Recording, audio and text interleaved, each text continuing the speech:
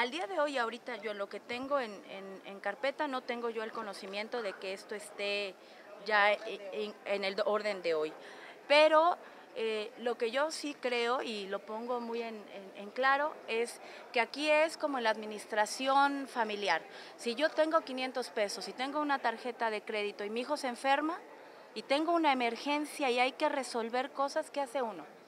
Recurre uno al crédito. No estoy diciendo con esto que sea eh, en la situación actual, pero son cuestiones que se van dando, tenemos que ver la, la realidad financiera. Hoy quien tiene que hacerse responsable y yo vuelvo a sentar y a dirigirle mi mensaje a Enrique Peña Nieto.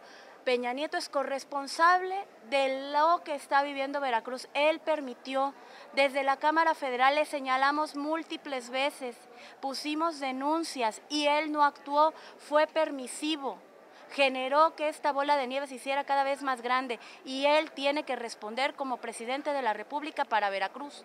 Esa es la verdad de fondo. Están las denuncias puestas de la Auditoría Superior de la Federación. Investigamos peso a peso, señalamos 2012, 2013, 2015 y no hizo nada hoy tiene que ser responsable también y tiene que actuar en consecuencia y apoyar a Veracruz. No le puede seguir dando la espalda a la crisis financiera del Estado, uno de los más importantes del país, el vertebrador de todas las aduanas de Latinoamérica, no puede quedarse solo.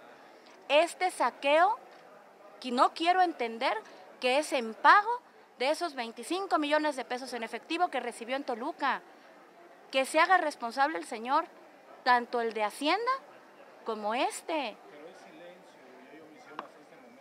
Hay silencio, no nos da alternativas, no nos dice qué se va a hacer. Y él es corresponsable, reitero, era presidente de la República, se le dieron los elementos, se le pusieron las denuncias, se hizo el trabajo en la Comisión de la Auditoría Superior de la Federación y él no actuó un año, dos y tres. Y hoy se sorprende, por Dios, no es de sorprenderse, él es corresponsable.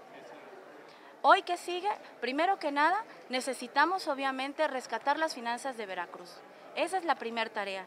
Y en esa tarea necesitamos el apoyo de la Secretaría de Hacienda, porque si no, quedará en la mesa esta propuesta de descoordinación fiscal, en la cual tendríamos nosotros la gran oportunidad también de volvernos en esa medida autónomos, ¿no?